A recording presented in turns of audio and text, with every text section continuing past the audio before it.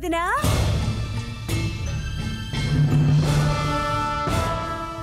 బాబాయ్ గారికి యాక్సిడెంట్ అయిందంట కదా వదినా. ఎలా ఉంది? బాగానే ఉన్నారమ్మా. కంగారు పడాల్సింది ఏమీ లేదని కావ్య ఫోన్ చేసి చెప్పింది. హాస్పిటల్కే బయలుదేరుతున్నాను. మీరు కూడా వస్తారా? పదమ్మా వెళ్దాం. ఆ, మీరెళ్తే మాత్రం ఏం ఉపయోగం లేండి. ఏంటో వదినా మీ మామగారి విషయంలో భగవంతుడు ఇంత చిన్న చూపు చూస్తాడని అస్సలు అనుకోలేదు. అదేంటి భవాని? చిన్న చూపు చూడటం ఏంటి? ఆయన దయ చూపాడు కాబట్టే చిన్న చిన్న దెబ్బలతో పోయింది. నా బాధ కూడా అదేనండి. ఆ యాక్సిడెంట్ చేసిన వాడు కూడా పెద్ద సౌండ్ పార్టీ అంట కదా. అయితే? అంటే ఆయనకి ఏ కాలో చెయ్యో విరుగుంటే ఆ యాక్సిడెంట్ చేసిన వాళ్ళని బెదిరించి ఓ పాతిక లక్షలు గుంజేవాళ్ళం. ఆయనే మన సొంత మనిషి కాదు కదా. ఏ కాలో చేయో పోయినా కూడా పిల్లల పెళ్ళి ఖర్చులకు వచ్చేవి భవానీ అసలు ఏం మాట్లాడుతున్నావో నీకు తెలుస్తోందా? ఇంకెప్పుడు అలా మామయ్య గారి గురించి అలా తప్పుగా తక్కువగా మాట్లాడుకో. ఇప్పుడు నేనేం తప్పుగా మాట్లాడాను వదినా? కట్టుకున్న మొగుడే వదిలేసి వెళ్ళిపోయాడు. ఇంకా ఆయన తండ్రితో మనకేంటి సంబంధం? ఉంది. సంబంధం ఉంది.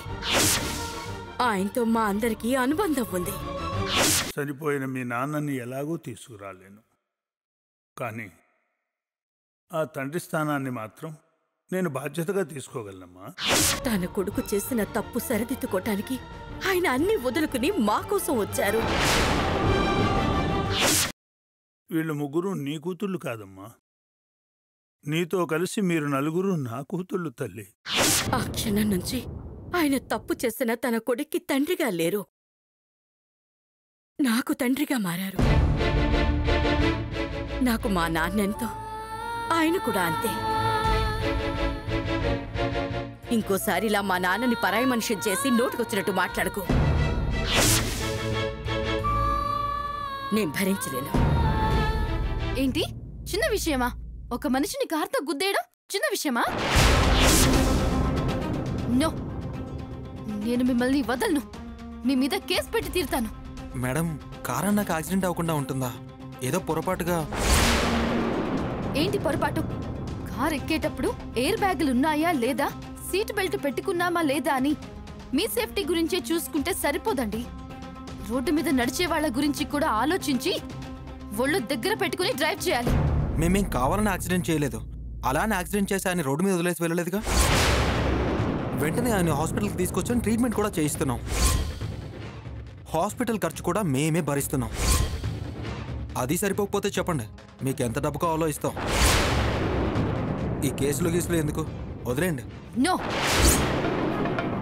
యాక్సిడెంట్లు చేసి ఇలా డబ్బు ఆశ చూపించే మీలాంటి వాళ్ళని అస్సలు వదిలేయకూడదు. కేసు పెడతాను. That's all hello? యాక్సిడెంట్ చేసింది ఎవరో తెలుసుకోకుండా ఊరికి ఆవేశపడకండి. ఏం మాట్లాడుతున్నారు మీరు?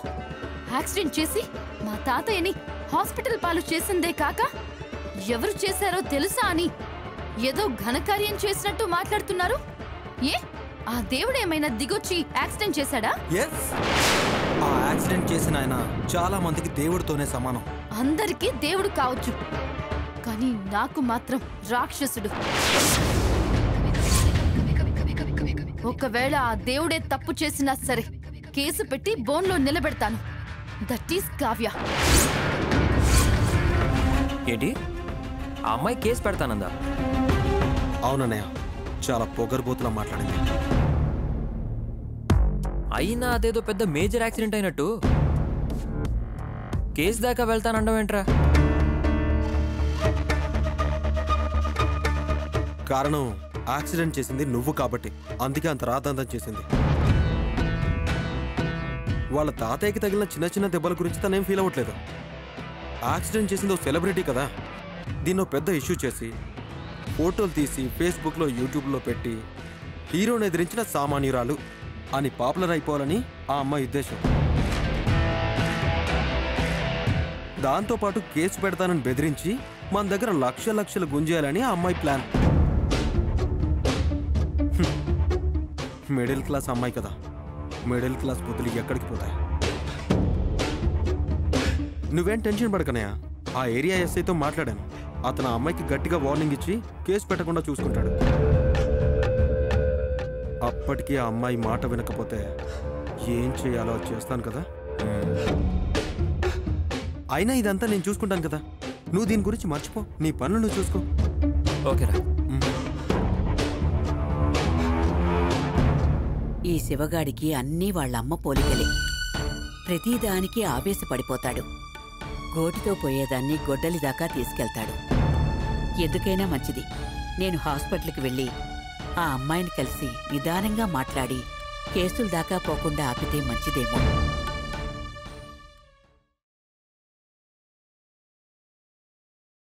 థ్యాంక్స్ అమ్మా.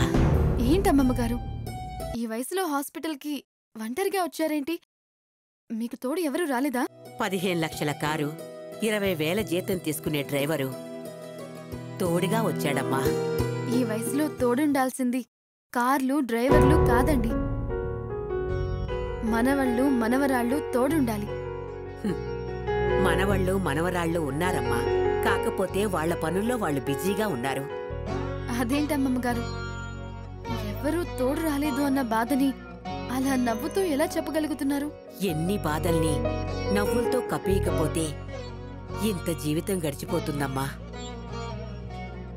అయినా ఎవరూ తోడుగా రాకపోబట్టే కదమ్మా.